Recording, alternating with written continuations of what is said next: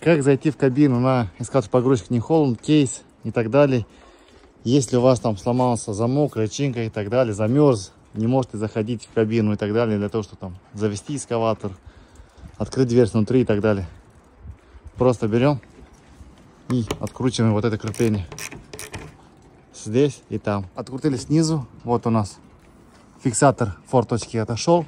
И мы спокойно открываем форточку и можем открыть дверь снутри.